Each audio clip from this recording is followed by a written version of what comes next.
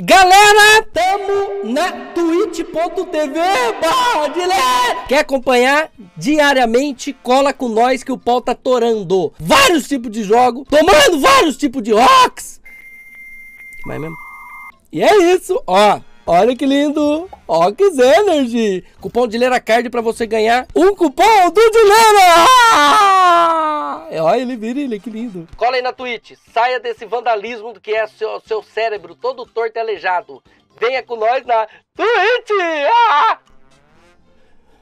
Não! Perdão.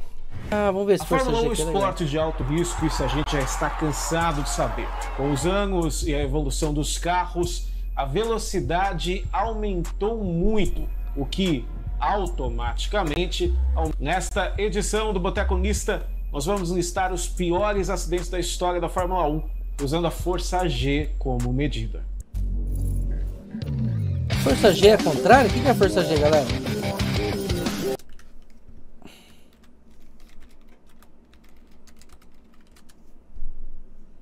O que é a força G?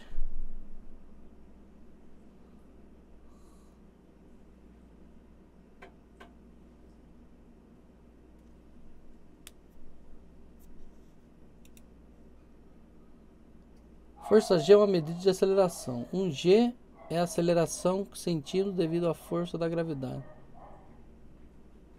É o que mantém os nossos pés firmes plantados no chão. A gravidade é medida em metros por segundo ao quadrado. Vou pegar a fralda, tá? Tá. Suza, Fel. Tô vendo que a força G você vem. Desculpa! Uhum.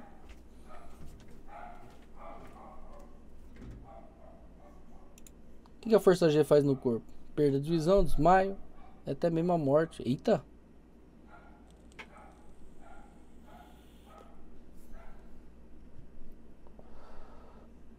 É a unidade de aceleração correspondente à aceleração. Vixe, já me perdi no, no chamada. A chamada força G é uma unidade de aceleração correspondente à aceleração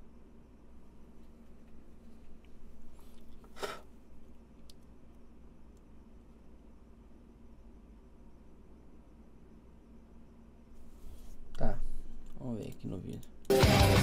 Também. É o Boteco são um oferecimento da TSO História. Eu tô com essa camiseta da Mercedes. De você aqui, desculpa. Vou jogar o seu carro para a direita para ganhar posições na primeira reta antes da curva 4, quando acabou tendo um contato com a Alpha Tauri do Daniel Kvyat. A Haas do piloto francês perdeu a traseira e bateu de frente com o guardrail. O impacto foi tão forte que quebrou o carro em duas partes. A traseira ficou de um lado, enquanto o cockpit ficou preso no guardrail. A descrição já é assustadora. Cartão, tá aqui. Chama por si só, mas tem um fator a mais. O carro começou a pegar fogo Ai, imediatamente. Uma cena que deixou todo fã de Fórmula 1 com o coração na mão ao vivo naquela manhã de domingo. O impacto foi de 67 G. Grosjean ficou com um de seus pés preso debaixo de um dos pedais enquanto o fogo começava a devorar o cockpit. O piloto disse depois que pensou em seus filhos e lutou para salvar a sua vida. I sit back down, all my muscle relaxes, almost not a smile, but in peace with myself, thinking I'm dead, I will die, and then I thought, which part's gonna burn first? Is it the foot? Is it the hands? Is it gonna be painful? Try to find another solution. I thought about my kids, and I said, no, I cannot die today. For my kids, I cannot die. I've got to see them. A cena dele deixando o carro em chamas, com as mãos no guardrail fervendo, marcaram a história do automobilismo. Com certeza, se o acidente tivesse acontecido anos antes, o Grosjean não teria sobrevivido. Muitas Opa, né? pessoas né? falam em sorte, mas é importante e fundamental destacar o excelente trabalho da FIA na melhoria da segurança dos carros, incluindo o halo, que foi fundamental para salvar a vida do francês em um dos acidentes mais impressionantes já vistos. Na classificação para o GP do Japão de 2002, Alan McNish estava guiando o seu Imagina, mano, sei lá no, no, no, no- meio do rojão e você. Porque é passa tudo em fração de segundo, né, mano? De milésimo de segundo. Meus filhos, mulher, tudo. Fala, vixe, vou morrer, não vou. Aí aquela, vem aquela vontade por dentro, fala, não, não vou morrer, não, tem que fazer alguma coisa. O cara já, já cria uma, sobre, uma força sobrenatural ali, sobre-humana e. Toyota sei lá, quando mano, é uma coisa perdeu louca a mesmo, velho. traseira na emblemática curva 130R de Quem Suzuki. que é esse? McNish tentou segurar o carro, mas acabou rodando em alta velocidade, batendo de traseira no guardrail. O impacto cara tem que foi ser bom pra dirigir tão um carro forte que a Toyota foi parar no lado de fora da pista. A medição Ah, marcou pô. 69G. Apesar da violência do acidente, McNish sofreu apenas ferimentos leves, mas Graças nunca Deus, mais irmão. correu na Fórmula 1. O GP do É Canadá né, de não, Lopes? 2007, Robert Kubica estava disputando posição com Jarno Trulli quando acabou tocando na traseira da Toyota do piloto italiano Tá preula! de alta velocidade do circuito. Caralho, parece papel jogado pro ar, viado. sem controle para Que o muro isso? do hairpin de Montreal. Para piorar a situação, o carro passou por uma elevadora. O impacto foi de 75G Ué, e na época caralho. ficamos esperando pelo pior. Até porque era possível ver os pés de Kubica no cockpit que abriu com a violência da batida. Mas ainda bem, o piloto Caralho. polonês sofreu apenas leves contusões no tornozelo Também, e uma concussão. Ele não participou da corrida seguinte, sendo Também, substituído porra. por Sebastian Vettel em sua primeira prova na Fórmula 1, mas voltou para o cockpit da BMW depois. Durante o fim de semana do GP dos Estados Unidos de 2004, o irmão de Michael Schumacher, Ralph, estava guiando sua Williams quando sofreu uma Ah, falha pô. de pneu na curva 13 de Indianápolis, falha de pneu que é era a única curva com inclinação do calendário da Fórmula 1 até então, o que levou o Ralph Não a é que é frágil não, de Bilzer. 90 graus e de que é muito rápido, O velho. impacto Tem foi tem tão rapaz. forte que a viseira do capacete do alemão abriu. Este seria um acidente famoso pelo que iria acontecer no ano seguinte no circuito, como já falamos neste vídeo aqui. O impacto 78G levou Ralph a ter uma concussão e duas fraturas espinhais leves. É, como 300 aconteceu por durante a corrida por várias vezes, era possível ver o Mikael tentando ver como que o seu irmão estava durante o resgate no período de safety car. Durante a classificação do GP de San Marino de Ah, eu parava ali, 1994, ela vê Rubens Barrichello acabou exagerando na chicane da variante alta voou. e viu sua Jordan ser arremessada contra a Eita barreira de pneus em porra. altíssima velocidade e depois capotar algumas vezes. O impacto foi violentíssimo, 95G. O carro, Ah, como preu. estava de ponta cabeça, foi virado pelos socorristas e o movimento da cabeça do Barrichello dói na gente até hoje. Imagina para o Rubinho, né?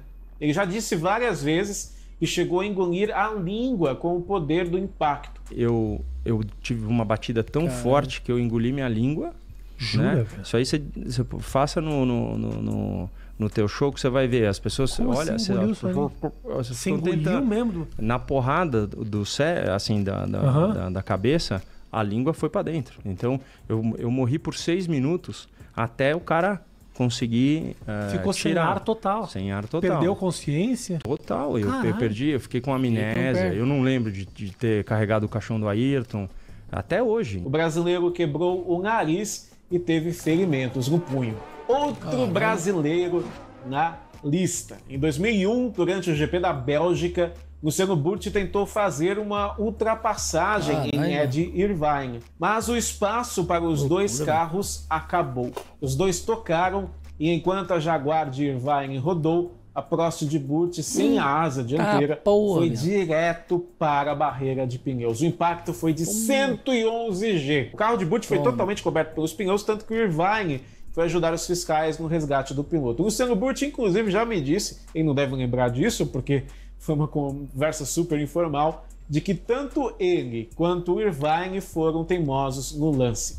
Burt saiu com uma concussão, ferimentos na face e ficou três dias em coma. Durante um treino livre para o GP Ah, da. Grã-Bretanha de 1977, Caralho, velho. o acelerador do carro de David Purley ficou preso e o piloto bateu em um muro. O impacto foi medido em 189,8 Tá, G. porra. Durante muitos anos, foi o impacto de maior força no qual um ser humano tinha sobrevivido. Perry Caralho. teve fraturas múltiplas nas pernas, pelvis e costelas, mas voltou a correr depois de sua recuperação. Mika Hakkinen estava participando da classificação do GP da Austrália, última corrida da Última, temporada galera. de 1995, quando uma Tô falha gordo, no pneu levou nada, sua. McLaren a atingir uma zebra e voar até o muro. O carro bateu de lado, gerando uma força G de 208. Hum, Hakkinen sofreu uma fratura no crânio, hemorragia interna e uma parada respiratória. O piloto foi reanimado duas vezes, ainda na pista, antes de ser levado ao hospital, onde permaneceu por dois meses. O Deus finlandês livre, ficou tão agradecido por sua vida que ajudou financeiramente o hospital nos próximos anos. E uma dica bacana de vídeo, a gente conversou com o Mark Sutton, que tirou a foto mais famosa caramba. desse acidente, né, do finlandês voador. Eu vou deixar o link aqui na descrição para você assistir. Se você gosta de fotografia e de história de Fórmula 1, vale a pena assistir. Durante o GP do Japão de 2014, a chuva não dava tréguas para os pilotos. Inclusive, um tufão quase cancelou o evento. Com a baixa visibilidade, os pilotos começaram a enfrentar problemas com a aquaplanagem. Vários pediram pelo encerramento da corrida, chegou a ter uma bandeira vermelha. Mas vocês pedem no rádio, Eu por pedi. exemplo? Antes pedi de dar, rádio. antes de dar um acidente. Pedi. Você já tava. Pedi antes do rádio falando que a situação eh, não era o problema de, de aquaplanar, era o problema de visibilidade. é, zero. Era, era, tava, já tava começando a ficar mais escuro e, e tava chovendo e era difícil enxergar direito. Então eu, eu vim Mas o- reclamando no rádio, mas não adiantou muito. Mas no retorno, o Adrian Sutil perdeu o controle de sua Sauber em uma poça de água e acabou batendo.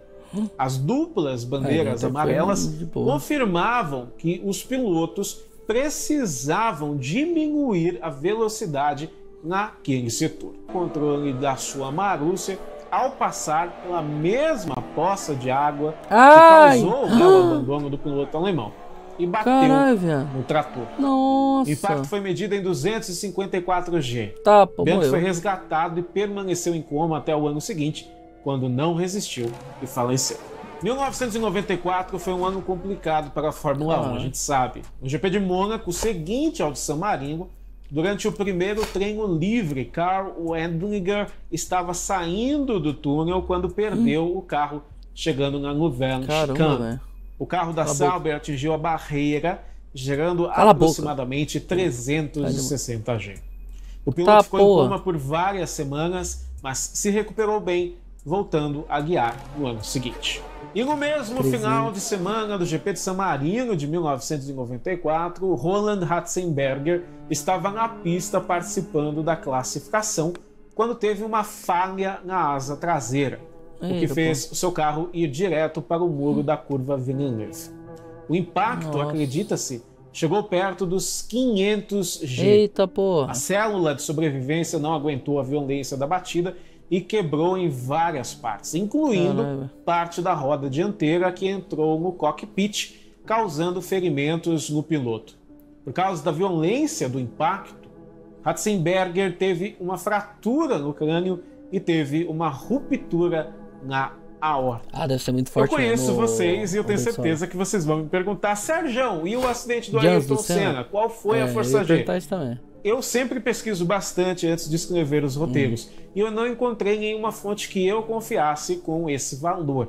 Vale lembrar, como eu já falei inclusive nesse vídeo aqui, que a Williams do Ayrton Senna foi apreendida e participou, né? Foi o material para uma grande investigação sobre o acidente. Então, não sei se essa informação está em algum lugar. Se você tem essa informação de uma fonte confiável, compartilha aqui com a gente nos comentários, tá bom? Eu Tá sei uma que merda, também dá pô, para tá fazer a conta lá usando física, mas conta não é o meu forte, eu sou uma pessoa de humanas total. Se você tem essa informação, coloca aqui, porque apesar de eu não ser muito bom com números, eu adoro ler a lógica por trás deles. Como sempre, muito obrigado pela sua audiência, pela sua É nóis. paciência e até o próximo vídeo. Tchau!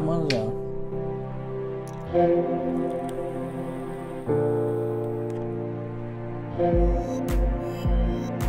lógico, com certeza, tá maluco?